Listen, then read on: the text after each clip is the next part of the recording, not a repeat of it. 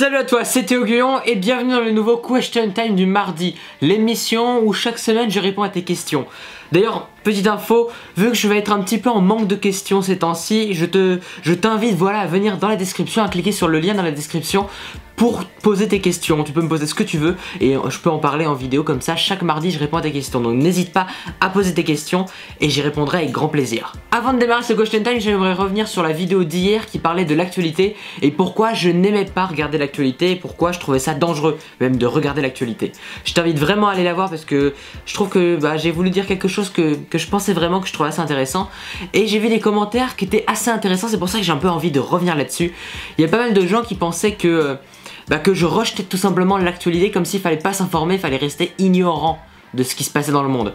En fait, ce que je disais dans ma vidéo, c'était d'arrêter de, regarder une actualité rapide à consommer, facile et où il n'y a pas toutes les informations possibles. Et que si tu as envie de t'informer sur quelque chose, que tu cherches un contenu intéressant, développé et qui essaye de développer vraiment un point de vue assez objectif, essayer de, voir un petit peu toutes les idées qu'il y a derrière et pas seulement une idéologie portée par un média, pas un scoop politique ou une info un petit peu passée comme ça euh, à la télévision euh, sans avoir recherché ce qu'il y avait de cause là-dedans, ce qu'il y avait de recherche et ce qu'on pouvait trouver comme solution. Le problème des médias c'est vraiment que bah, il, reste un petit peu bas de plafond.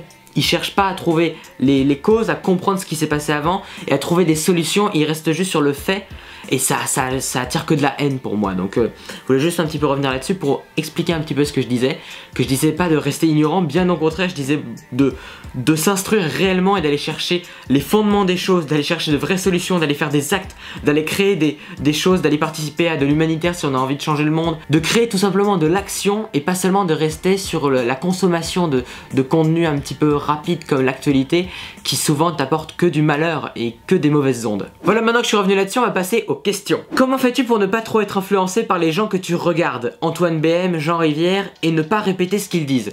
Alors le problème c'est que je suis beaucoup influencé par ce qu'ils disent parce que je les écoute tous les jours. Quand je rentre de, de l'école ou quand je vais à l'école, je mets dans mes oreilles un podcast de Jean Rivière, je vais regarder les nouvelles vidéos d'Antoine BM à chaque fois qu'il en sort une, je vais acheter leur formation, je vais suivre un peu leurs travaux, et c'est très dur de pas être influencé par eux parce que je suis leur travail tout le temps. Du coup, j'essaye peu à peu de développer mes propres projets et même si mes dernières vidéos, bah, elles sont un petit peu, elles se ressemblent peut-être un petit peu toutes, j'essaye quand même de développer ma philosophie, mes propres idées. Et je prépare des nouveaux projets et plein de nouveaux projets, d'ailleurs je t'en parle un petit peu en fin de vidéo. Plein plein de nouveaux trucs qui sont vraiment à moi, qui, vont être vraiment mon style à moi, que je développe peu à peu avec ce projet, une vidéo par jour. Et il va y avoir des trucs de fou, vraiment. Comment fais-tu pour trouver des idées de vidéos à un moment précis? Parce que mes idées viennent toujours le soir et du coup je n'arrive pas à dormir. Faut savoir que les idées, bah, elles viennent pas forcément quand on les demande. Au départ, très souvent, les idées, elles viennent un petit peu à tout va comme ça. Ça peut être à des moments où tu t'y attends le moins, par exemple quand tu te brosses les dents, quand tu vas aux toilettes, quand tu prends ta douche ou quand tu vas aller dormir. Moi, souvent, c'est à ces moments-là que j'ai les meilleures idées. Il euh, y, a plein d'idées que j'ai eues quand, je me brossais les dents. Il y a des idées, il euh, y, a des soirs même où j'écrivais une idée, puis j'allais me coucher et d'un coup, je me réveillais en disant non, j'en ai une nouvelle, j'allais me relever, me réécrire sur mon téléphone, puis me recoucher, puis me relever et pendant 30 minutes, une heure, je faisais ça et j'écrivais plein d'idées. Et quand il y a ces moments-là, c'est pas grave si tu vous un peu ton sommeil, c'est pas grave si tu vas interrompre ta douche ou interrompre euh, ton brossage de dents, écris l'idée parce que c'est à ce moment-là que tu vas être créatif et il faut en profiter de ce moment-là. Après, tu peux essayer de te créer des sortes de petites habitudes, par exemple tous les matins tu te poses devant une feuille et tu essaies de trouver 10 idées.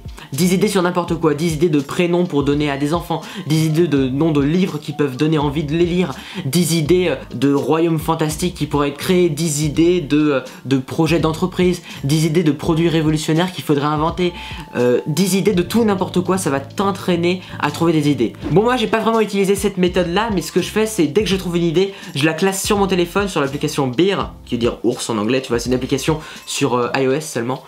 Et je classe mes idées là-dessus. Après, il y a plein d'autres applis comme Evernote pour classer ses idées.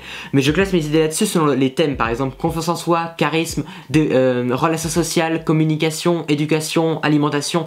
Plein de trucs, tout n'importe quoi. J'essaie de classer. J'essaie de classer aussi les nouveaux concepts que j'ai, les nouvelles idées que j'ai. Ça peut être n'importe quoi, même des idées de romans, des idées de, de spectacles comiques ou de pièces de théâtre que je pourrais avoir. Tout n'importe quoi, je les écris. Et du coup, ça t'entraîne le fait d'écrire toujours des idées. Ça t'entraîne à en trouver de nouvelles. Et ton cerveau, il va être habitué à ce que tu notes des idées, à ce que tu cherches des trucs.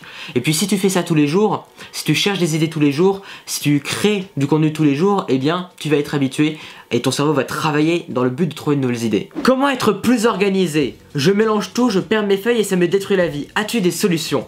Alors au niveau de l'organisation c'est toujours très compliqué et moi je suis, je suis un, un des premiers à être en galère d'organisation alors que je fais bien une vidéo par jour parce que je, je me pousse à faire ça et j'adore ça, vraiment, j'adore faire une vidéo par jour et j'ai pris une bonne habitude là-dessus. Quand j'ai pris une bonne habitude, j'arrive à bien la tenir, mais l'organisation c'est toujours un calvaire. Moi j'ai un bureau ici qui est hyper mal rangé où il y a des piles de livres et de Blu-ray euh, que je n'ai même pas encore lu qui sont empilés tout autour de mon bureau avec plein de, feuilles là, euh, ici avec les, notes des formations. J'ai du bordel partout mais bah essaye de ranger ta chambre. Les rangements ça va vraiment changer ta vie. Si tu te poses une après-midi entière et tu te dis aujourd'hui je range ma chambre, ça va créer un nouveau tournant dans ta vie parce que si tu ranges ta chambre, tu ranges ton cerveau avec et tu t'organises un peu mieux.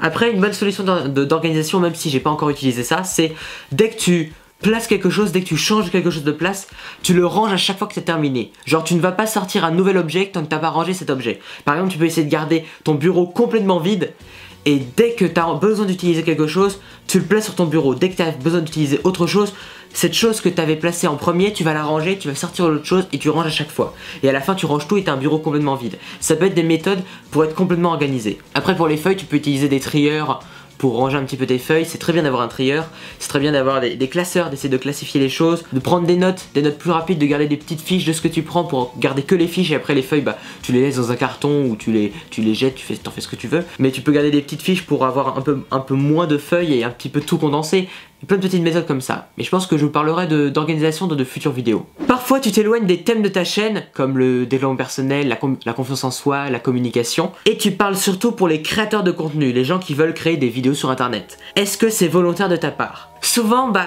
en fait, c'est pas volontaire, je fais pas forcément exprès. En fait, je me donne une sorte de règle de me dire si je parle de quelque chose, c'est que j'ai envie d'en parler, je veux pas me forcer. C'est une règle de Jean Rivière, ça, c'est de, faire une vidéo quotidienne sur des choses que dont tu as envie de parler, des choses que t'aimes. Et du coup, moi qui fais une vidéo par jour, qui crée du contenu, qui crée des formations pour les vendre sur internet pour gagner ma vie avec ça, eh bien, je suis habitué à voir du contenu sur les créateurs de contenu. Les youtubeurs que je regarde le plus sont des gens qui parlent aux créateurs de contenu, aux gens qui veulent créer un business sur internet ou sur YouTube, aux gens qui veulent créer du contenu plaisant qui leur plaise, des choses comme ça. Et du coup, je partage automatiquement ce genre de philosophie. Mais de plus en plus en ce moment, je vais m'axer un petit peu plus sur le bien-être, sur la confiance en soi et sur des, conseils qui peuvent aller pas seulement pour les créateurs de, de contenu, mais pour tout le monde. J'y vais peu à peu et d'ailleurs dès les vacances, je vais lancer plein de nouveaux projets là-dessus et je t'en parle en fin de vidéo. Et enfin, dernière question, Comment avoir de l'énergie instantanément C'est une bonne question, assez compliquée d'y répondre. Un, bon truc pour avoir de l'énergie instantanément, c'est de crier.